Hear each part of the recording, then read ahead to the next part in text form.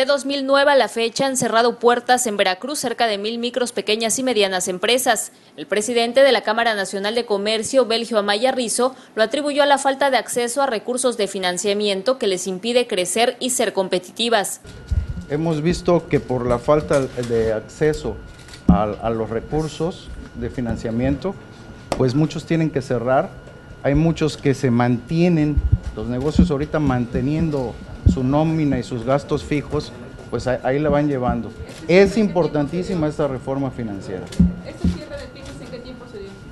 Bueno, eh, eh, ahora sí que ir hablando del tiempo, estamos hablando del 2009 a la fecha.